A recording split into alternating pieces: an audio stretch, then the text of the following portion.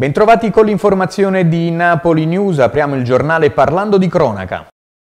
Un camorrista latitante, ritenuto un boss del clan Mazzarella, è stato arrestato ieri in tarda serata sull'isola di Ischia, mentre si trovava a cena in un ristorante della zona collinare di Forio. Si tratta di Giuseppe Del Prete, 46 anni. L'uomo si trovava sull'isola da alcuni giorni ed era tenuto sotto controllo dagli agenti del locale commissariato di polizia, che sono intervenuti quando si trovava a tavola in un noto ristorante in via Borbonica e lo hanno arrestato. Del prete, che deve scontare una pena detentiva di alcuni anni, è stato condotto poi nei locali del commissariato di Via delle Terme. Poco dopo all'esterno è arrivato anche un gruppo di amici e parenti. Il boss è stato trasferito nel carcere di Poggioreale, dove dovrà scontare una pena di sei anni. È stato un agente del commissariato Decumani di Napoli in vacanza a Ischia a riconoscerlo nel ristorante. Il poliziotto si è poi subito attivato, consentendo in poco tempo di far scattare il blitz durante il quale l'elemento di spicco del clan Mazzarella è stato bloccato. Il retro dello scooter incastrato nel cofano dell'auto, accartocciato dopo lo scontro, il casco sull'asfalto. Immagini che danno l'idea del forte impatto avvenuto ieri all'altezza di Villa Cinzia in via Pomeo, a Napoli, nel quartiere Soccavo due giovani a bordo del due ruote, finito contro la macchina che proveniva in direzione opposta. Immediati soccorsi allertati dalle persone che si trovavano in strada al momento dello scontro tra i due veicoli. Ferito in maniera lieve con qualche scoriazione il conducente, che si vede nelle immagini mentre seduto su una sedia, viene aiutato dai passanti e dal personale sanitario del 118 mentre è stato necessario trasportare d'urgenza al pronto soccorso dell'ospedale Cardarelli il passeggero dello scooter. A quanto si è appreso è in gravi condizioni e ora in prognosi riservata con un ematoma alla testa. Tutti e due indossavano il casco. Gli agenti della Polizia Municipale fino a tardi sul posto per ricostruire l'esatta dinamica. Secondo quanto appreso sul posto, lo scooter con a bordo il giovane ferito gravemente circolava nella corsia preferenziale quando ha impattato contro l'automobile. L'episodio ha scatenato sui social la reazione della cittadinanza. Non è la prima volta infatti che in via Pomeo si verifica un incidente a causa dei tanti motorini che sfrecciano nella corsia preferenziale. I residenti chiedono da tempo i dossi per costringere auto e moto a rallentare in prossimità di semafori e strisce pedonali.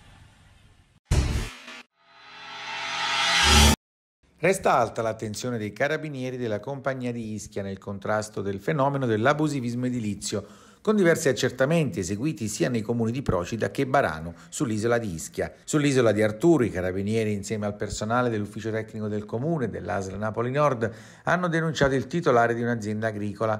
L'uomo, un 66enne del posto, aveva realizzato in maniera abusiva un varco di accesso, ampliamento e sbancamento di terreno su di un'area di 65 metri quadrati, tettoie in lamiere per una superficie di 150 metri quadrati circa e un locale deposito di circa 8 metri quadri.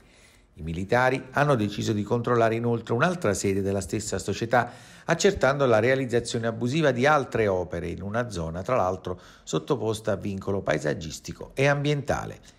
Il tutto è stato sequestrato. A Barano d'Ischia invece i carabinieri in collaborazione con il personale dell'ufficio tecnico del comune hanno denunciato una 49enne del posto, proprietaria di un terreno dove in area sottoposta a vincolo paesaggistico era stata costruita abusivamente una struttura adibita a garage per una superficie di 35 metri quadri. Anche in questo caso sono scattati i sigilli.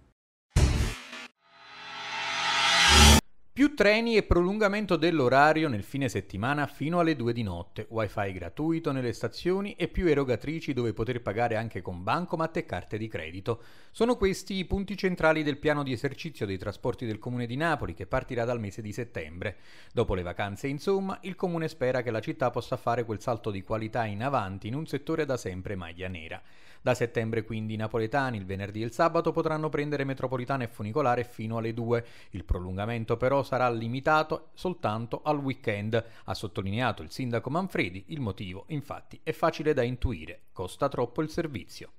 Questo per noi è molto importante perché significa alleggerire soprattutto il traffico durante il fine settimana e rappresenta un grande esperimento perché chiaramente il, la nostra volontà è quella di investire sempre di più su un trasporto pubblico che consenta per i napoletani e poi ci auguriamo anche in futuro per tutta l'area metropolitana di non utilizzare l'automobile. Questo è un intervento che costa molto chiaramente, quindi anche perché il picco di richiesta è uno che noi l'abbiamo nel fine settimana, poi ovviamente se riusciremo ad avere, se vediamo che la cosa è successa avremo margine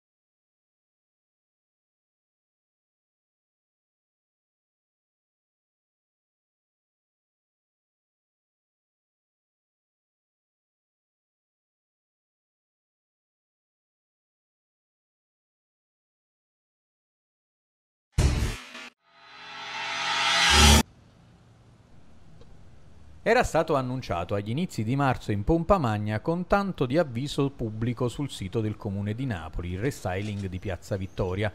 Si trattò invece del parziale rifacimento di una piccola parte di piazza, quella riferita ai giardini situati di fronte il lungomare. Oggi, a distanza di pochi mesi, quegli stessi giardini sono stati nuovamente transennati e inibiti alla cittadinanza. Si tratta di lavori di posa di cavi elettrici, molto probabilmente per un nuovo impianto di illuminazione a basso impatto ambientale ambientale. La domanda che tutti si pongono è perché questi interventi non sono stati fatti prima. Nino Simeone, consigliere comunale e presidente della Commissione Trasporti, sottolinea. Questa è la dimostrazione che eh, spesso eh, in questa città, ma soprattutto questa amministrazione, la testa non sa quello che fa la coda. Quando sono stati fatti i lavori di riqualificazione di questi giardini, eh, che sono piccola cosa, ma che comunque vanno fatti perché rendono diciamo, un po' più vivibile l'area, qualcuno ha dimenticato che in quella parte, di, diciamo, in quella porzione di piazza andavano fatti i lavori di riqualificazione del, degli impianti di illuminazione.